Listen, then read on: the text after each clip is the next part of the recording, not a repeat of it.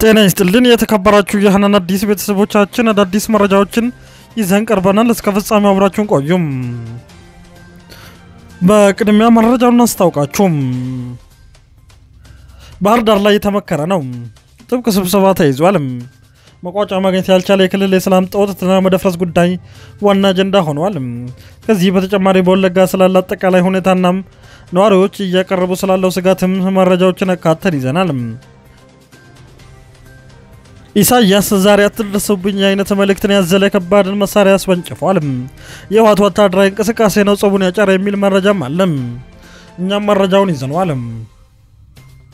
በጋምቤላ ክልል ዲማ ወረዳ ታጣቂዎች በከፈቱት ተኩስ ሁለት የአካባቢ ሚሊሻዎች መገደላቸው ታውቋል። ክስተቱን የተመለከተ ዘገባ አለን። በኮንዶሚኒየም ቤቶች ላይ የተጣለው ታክስ ውዝግብና ከፍተኛ ቅሬታ እየቀረበበት ነው።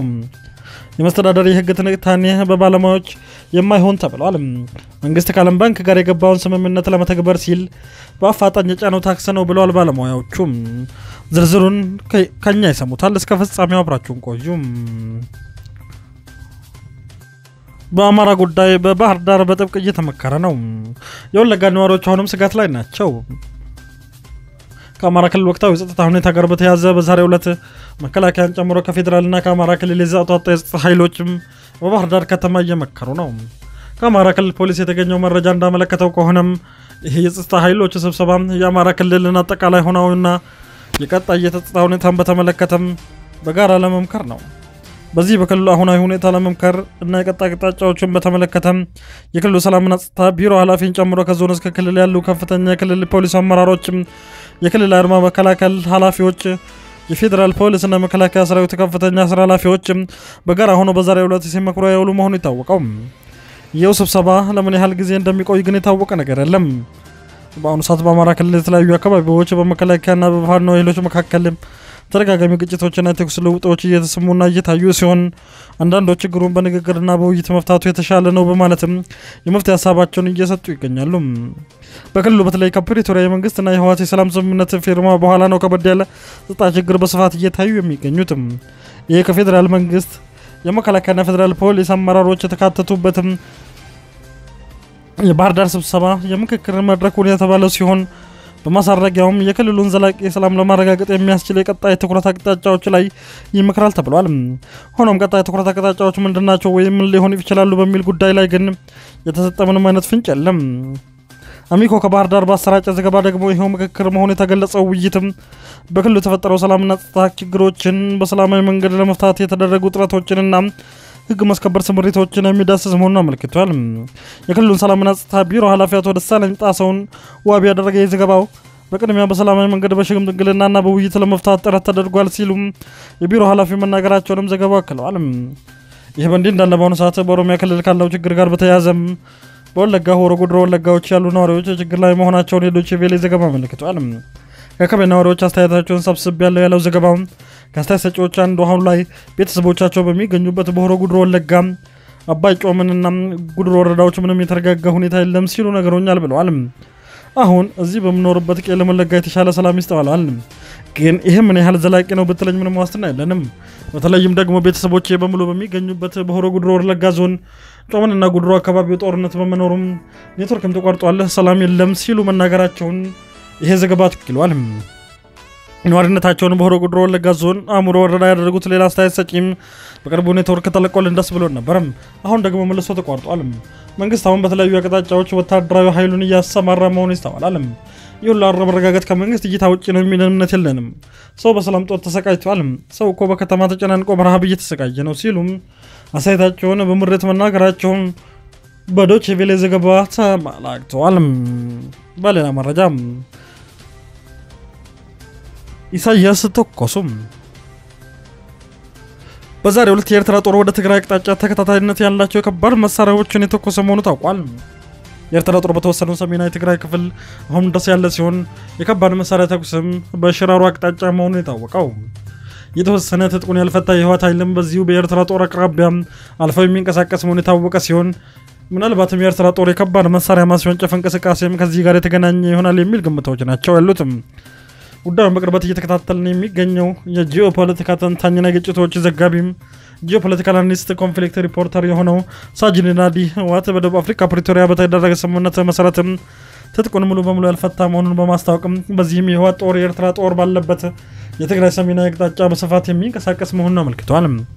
ሳጅን ናዲ አክሎም የተወሰነው ትጥቁን ያልፈታ የህወሓት ጦር በደቡባዊ ትግራይ በራያ ቅርብ ርቀት መሆን የተባለው ቦታ የተከማቸ መሆኑ የተገለጸ ሲሆን በተከዜ ወልቃይት አቅጣጫም እንደዚሁ ሙሉ ትጥቅ ያለው የህወሓት ጦር በአካባቢው መሸጎ የሚገኝ መሆኑን አመለከተው። እነዚህ የመሸጉና በህወሓት ይሁን በትግራይ ጊዜያዊ መንግስት እውቅና ያላቸው ናቸው ወይስ የፕሪቶሪያ ስምምነትን ያልተቀበሉ አፈንጋጭ ኃይሎች ናቸው የሚለው ጉዳይ ገና በደንብ ያልተጣራ መሆኑን ያመለከተው ተንታኙም ወይንስ ህወሓት መንታዊ የፖለቲካ ቁማርም ወይም double game እየተጫወተ ይሆን ሲልም ጠይቋል። ያም ሆነ አሁንም ድረስ እንደ አንድ ጠንካራ መከላከያ ወረዳም ወደ ትግራይ ግዛት በጥልቀት ገብቶ ከሰፈረም በርካታ ወራትን ያስቆጠረ የኤርትራ ጦር በርቀት አትድረሱብኝ በማለት ማናቸውም ወታደራዊ እንቅስቃሴዎች ላይ እየተኮሰ መሆኑን የታወቀው። በሌላ መረጃም በጋምቤላ ክልል ዲማ ወረዳ ታጣቂዎች በከፈቱት ተኩስ ሁለት የአካባቢው ሚሊሻዎች ተገደሉ። በጋምቤላ ክልል በአኛዋ ብሔረሰብ ዞን በዲማ ወረዳ ለጊዜው ማንነታቸው ያልታወቁ ታጣቂዎች በከፈቱት ተኩስ ሁለት የአካባቢ ሚሊሻዎች ህይወት ሲያልፍ አንድ ሚሊሻ መቁሰሉን የዲማ ወረዳ መንግስት ኮሚኒኬሽን ጉዳዮች ጽህፈት ቤት አስታውቋል። የጽህፈት ቤት ኃላፊ ኬሎ ጁን እንደገለጹት ከሆነ በትናንትና ሁለት ከጠዋት ሁለት ሰዓት ላይ ለጊዜው ማንነታቸው ያልታወቁ ታጣቂዎችም በካችና ቀበሌ አካባቢ ገፍተው በከፈቱት ተኩስ በሳቱ ጸጥታ በማስከበር ላይ ነበሩ። ሁለት ታጣቂዎች ህይወታቸው ሲያልፍ አንድ ሚሊሻ ቆስሎም በሕክምና ላይ ይገኛል። ወኪል አያይዞም ቅዳሜ ሰኔ 24 2015 ከቀኑ 3 ሰዓት አካባቢ ከካችና ቀበሌ ወደ እናም ካዶ ቀበሌ በመጓዝ ላይ ነበር አንድ ሞተረኛ በጥይት ተመቶ ጉዳት እንደደረሰበት ገልጿል። ኃላፊ አክሎም በወረዳ ላይ የተሻለ ሰላም ቢኖርም ከቅርብ ጊዜ ወዲህ በመንገድ ላይ ዝርፊያ የተሰማሩ ሽፍቶች በተደጋጋሚ ጥቃት እየፈጸሙ መሆኑን ገልጸው የወረዳው መንግስት ጥቃቱን ለማስቆም ከሚመለከታቸው ጸጥታ አካላትም የአቅሙን ያህል እየሰራ መሆኑን መናገራቸውን የወረዳው መንግስት ኮሚኒኬሽን ጉዳዮች ጽህፈት ቤት ተገልጿል። በሌላ መረጃም በኮንዶሚኒየም ቤቶች ላይ የተጣለው ታክስ ውዝግብና ከፍተኛ ቅሬታ ቀረበበት። መንግስት ከዓለም ባንክ ጋር የገባውን ስምምነት ለመተግበር ሲል ያመጣው ነው ተባለም። በአዲስ አበባ ከተማ አስተዳደር ገቢዎች ቢሮ የተላለፈውና በትግራ ላይ ያለው የቤት ጣራና ግድግዳ ግብር አዲስ የክፍያ ተመን በአሁኑ ወቅት ያለውን ነባራዊ ሁኔታን ያላገናዘበና አሁን ያለውን የኑሮ ውድነት በህዝቡ ላይ የፈጠረውን አሉታዊ ጫናም በከፋ ደረጃ የሚያባብስ ከመሆኑ በላይ የህግ ክፍተት እንዳለበት በጋራ መኖሪያ ህንፃዎች የቤቶች ባለ ንብረቶችና የህግ ምሁራን ከሰሞኑ ቅሬታ አሰምተዋል። በአቃቂ ቃሊቲ ክፍለ ከተማ በቂሊንጦ የጋራ መኖሪያ ቤቶች ባለ ንብረቶች ለሚዲያ እንደገለጹት የከተማ አስተዳደሩ ህዝቡ በአስጨናቂ የኑሮ ሁኔታ ላይ እንዳለ እያወቀም አንዳንድ ማስተካከያዎች ቀደመን እንዳናደርግ አስቀድሞ ሳያሳውቀን ድንገተኛ ግብር ክፍያ አስገዳጅ ማምጣቱ አግባብነት የለውም ብለዋል። በቂሊንጦ site ዳርፉር እየተባለ በሚጠራ አካባቢ የባለ አንድ መኝታ ኮንዶሚኒየም ባለ ንብረት የሆነችው ስሟ እንዳይገለጥ የጠየቀች እናት በወር ወር የምታገኝ የተጣራ አራት ሺህ ብር ወራዊ ክፍያም ሁለት ሺህ ብሩን በየወሩ ለባንክ እዳዋን ትከፍላለች። የቀራትን ገንዘብ ደግሞ ከዘመድ አልፎ አልፎ የሚደረግላትን ችሎታ ቃር በማድረግም ልጆቿን ጾም እንዳያድር የምትጠቀምበት መሆኑን በቅሬታ አሰምታለች። ነዋሪ አያይዛም ከኔ በእጅጉ ያነሱ የባሰ ኑሮ የሚኖሩ በርካታ ሰዎች እየተጠየቀ ያለውን ግብር መክፈል ይቅርና ጭራሽ የዕለት ጉርስ የማያገኙ አንድ ቀን በልቶ ለቀን ምንም ሳይቀምሱ የሚኖሩም በርካቶች ናቸው ስትል ገልጻለች። መጀመሪያውኑ 10 90ና 20 80 ኮንዶሚኒየም ስንመዘገብ ዓላማው ዝቅተኛ ገቢ ያላቸውን የህብረተሰብ ክፍሎች በረጅም ጊዜ በሚከፈል ብድር የቤት ባለቤት ማድረግ ነበረም። በቅዶ መሰረት መጣ የወጣልን ቤት አግኝተን እየኖርንበት ነው። አሁን የባንክ ዕዳችንን ከፍለን ስናጨርስ እንደዚህ አይነት አስገዳጅ ነገር መምጣቱ አሳዛኝ ነው ሲልም ስሙ እንዳይጠቀስ የጠየቀ ሌላ የቤት ባለ ንብረትም ለዜና ምንጩ ተናግሯል። ግለሰባዊ አያይዞም ግብሩ መክፈል ተገቢ ቢሆንም አሁን ወቅታዊ አይደለም፣ በባንክ ዕዳ ተይዞ ያለን ቤት ግብር ክፈሉ ብሎ ማስገደድ ትክክል አይደለም፣ ለህዝብ አስባለሁ ከሚል መንግስት እንደዚህ አይነት ህዝብን የሚያስጨንቅ እርምጃም አይጠበቅም ብለዋል። ለዜና ምንጩ አስተያየታቸውን የሰጡ የቤት ባለ ንብረቶች የሚስማሙበት አንኳር ነገር የከተማ አስተዳደሩ ቦታ ኪራይና ቤት ግብር ክፍያ እንዲሁም ለኮንዶሚኒየም ቤቶች ያወጣው ተመን የተጋነነ ነው ይላሉ። ባለ ንብረቶቹ አያይዞም አስተዳደሩ ኮንዶሚኒየም ቤት ያላቸው ነዋሪዎች ምን አይነት ገቢ እንዳላቸው በቂ ጥናትን ሳያደርግ ከአቅም በላይ ክፍያ እንድንከፍል እያስገደደን ነው ብለዋል። ስማቸው ለደህንነት ሲባል እንዳይገለጥ የጠየቁ ሌላ ነዋሪም በልተን ማደር ካልቻን ስለ መንገድ ልማት እንዴት ማሰብ ይቻላል ሲሉ ጠይቋል። አያይዞም ይሄ ጋሪውን ከፈረሱ ማስቀደም ነው። በጋራ መኖሪያ ቤት ዕጣ ደርሷቸው የቤት ባለቤት የሆኑ በርካታ ጡረተኞችም ጧሪ የሌላቸው አረጋውያንና ሌሎች መክፈል የማይችሉ የህብረተሰብ ክልሎች ስላሉ መንግስት በአጽንኦት ሊያስብበት ይገባል ብለዋል። መስተዳደሩ ጠቅሶ አዲስ አይደለም፣ በደርግ ዘመን ጀምሮ የነበረ ነው፣ የመጠን ማሻሻያ ነው ያደረጉት ሲል ለታክሱ ቅሬታ መልስ መስጠቱ ይታወሳል። ቅሬታ አቅራቢዎች ግን አሁኑ በጫበት ወቅት በሀገሪቱ የነበረው ነባራዊ ሁኔታ አሁን ካለው አውድ ጋር ፈጽሞ የተለየ በመሆኑ የከተማ አስተዳደሩ የህግ ስህተት እየፈጸመ ነው ሲሉ ሞግታሉ።